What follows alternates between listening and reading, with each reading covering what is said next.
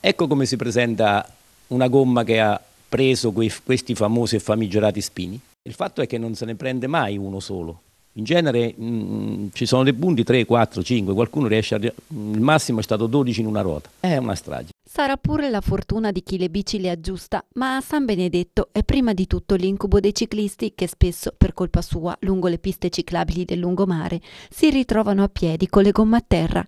Si chiama Tribulus terrestris ed è una pianta spinosa che ormai infesta alcune aree della Riviera delle Palme, colpa della siccità e del caldo fuori stagione che ne hanno favorito la proliferazione.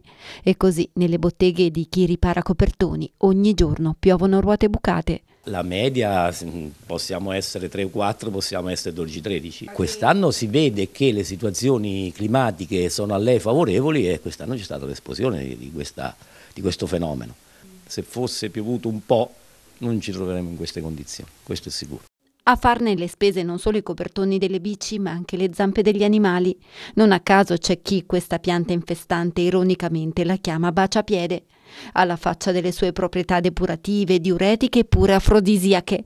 A San Benedetto, chi va a spasso sulle due ruote o con gli amici a quattro zampe farebbe meglio a starne alla larga. Certe zone bisogna stare evitare il bordo del, del marciapiede verso eh, i pitosfori, stare più verso la, la carreggiata e non uscire assolutamente dal battuto della pista ciclabile tra Grottammare e Cupra. Poi la sorte.